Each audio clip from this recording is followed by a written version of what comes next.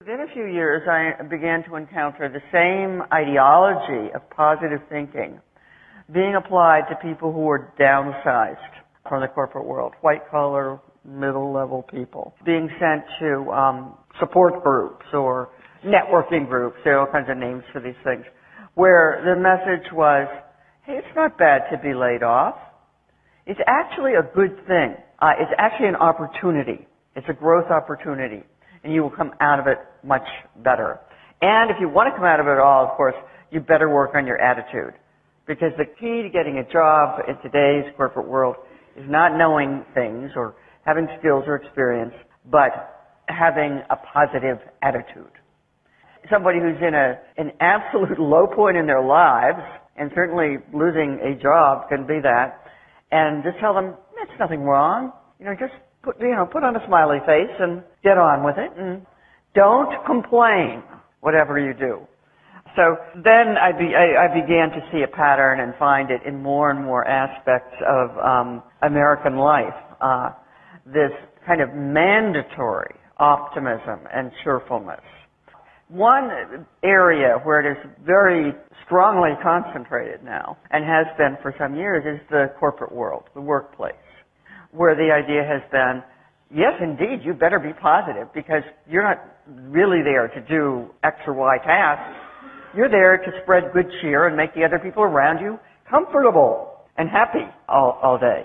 Now you might think, what's wrong with that? I mean, certainly many people have asked me, well, all right, so it's delusional to think everything is okay, or to go to the real delusional extreme. You know, embedded in all this is the idea that you change the physical world with your thoughts.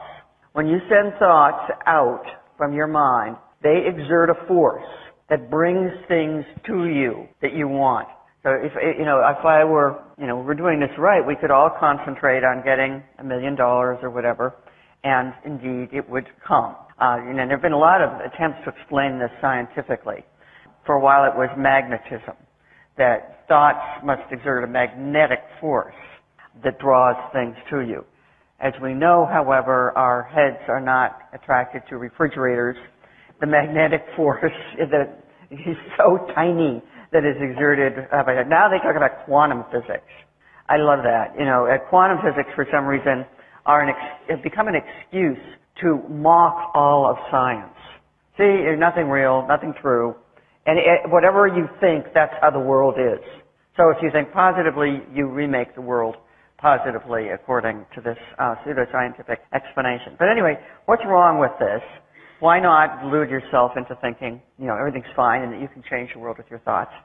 And I have two problems with it. One, I'll, I'll be hardline about this. I think delusion is always a mistake. There's no safe delusions. Uh, although one of the messages of positive psychology in the United States is, yeah, it's good to have some positive delusions about yourself.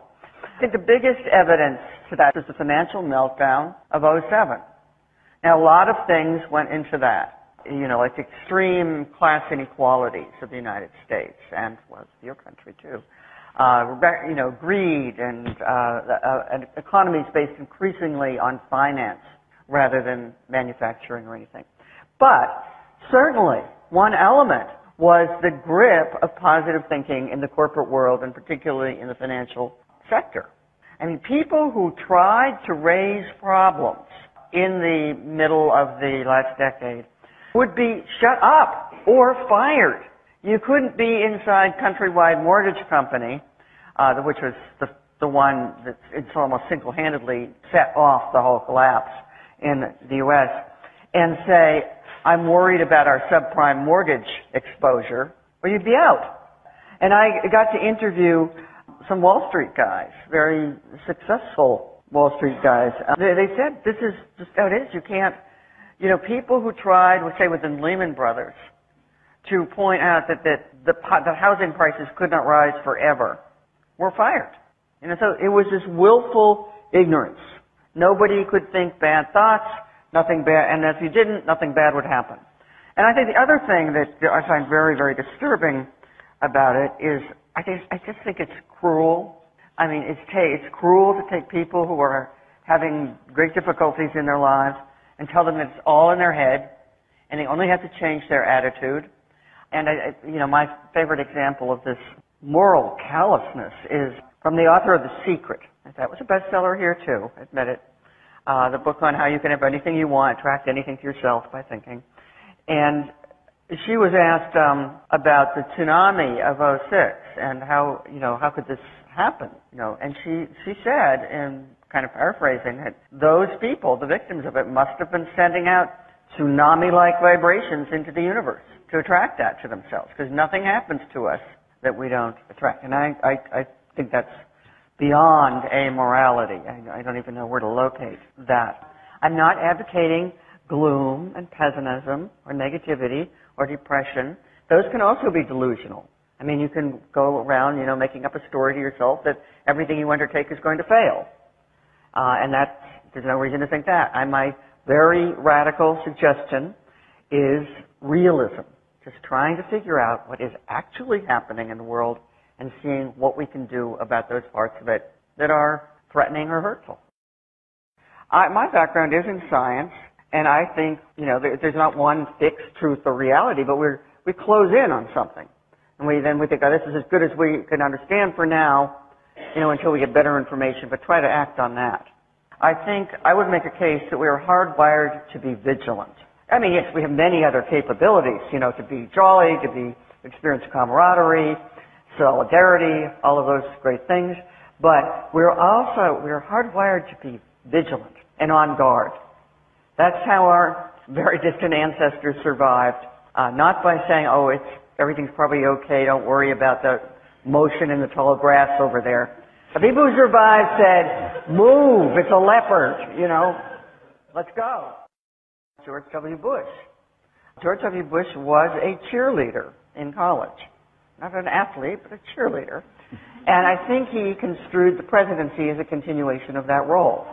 Uh, he is one of those people who closed himself in a bubble of positive feeling. Uh, Condoleezza Rice said uh, way too late uh, that she had had doubts about the invasion of Iraq, but she didn't dare express them because uh, the president hated to be around, quote, pessimists.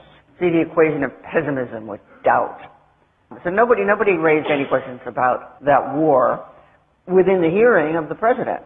Or those that did, like the general who suggested that we were only putting uh, half as many troops on the ground as, as would be needed to accomplish whatever we were trying to accomplish, uh, he was pushed out of the way. He lost his, his job, essentially.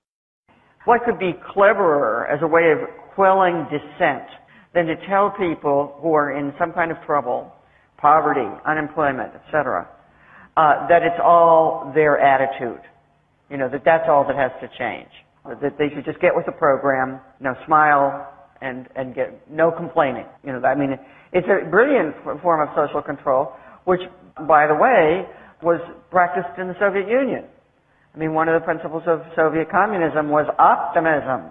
So it's, it's a form of social control, by the way, that, uh, you know, is, is quite widespread, has been widespread in totalitarian types of societies but I think it has worked very well in America. Take the issue of class inequality.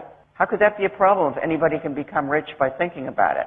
You know, if, if, if any one of us can just attract wealth to ourselves, there's no issue.